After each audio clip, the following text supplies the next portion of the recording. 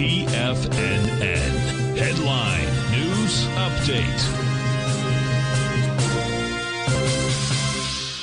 Good morning, folks. Steve Rhodes coming to you live from the shores of a very sunny and pleasant Delray Beach, Florida. This is your 11 a.m. update, and we begin our day with a mixed bag out there. The mix goes like this: the Dow up 106 points, a quarter percent. S&P is down slightly, basically flat. Same with the Nasdaq, off two points. Same with Russell, down about two points. Semis are up 22. Now, transportation index up 097.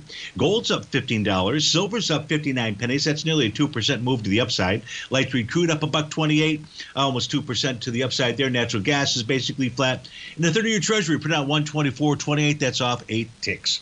Let's figure out what all that means by looking at that nine panel market update chart. We'll begin with the ES Mini, upper left hand side. The level to be watching today is going to be 57.85. Now, there's a new profile that appears to be attempting to form, very narrow. 57.13 at support, 57.97 as resistance. But the key level to be watching there is 50. Well, really, quite frankly, the key level to be watching today is uh, 57.97.50.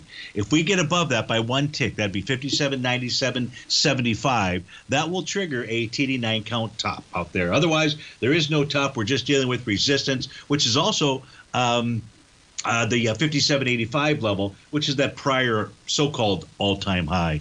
We take a look at the spot VIX index. It's trading below its 50-day exponential moving average. That provides buyers of the S&P with an edge, so they should be able to push price up that high. If we take a look at the NQ, it's dealing with trend line resistance. It's trailing with a new profile that's attempting to form.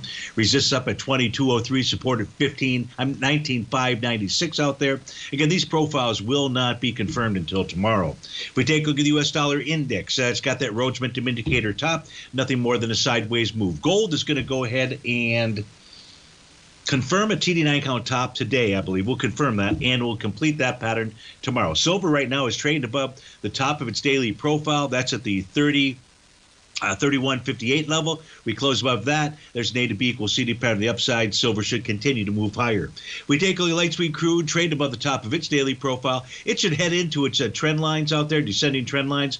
Uh, right now, today, it's in about the $75 area. If we take a look at natural gas, it's completed the one to one A to B equals CD move to the upside. A bearish reversal candle would confirm a sell the D point top. Short of that, we should see a move up to the 1.272 expansion and the 275 level. In the case of the 30 year treasury, Treasury TD9 count top that's led to nothing more than a consolidation with Insider's profile. With the bottom of that profile holding as support, what's that level, Stevie?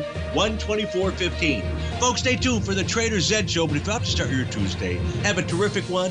Thanks for joining us. We'll look forward to speaking with you again soon. Take care now.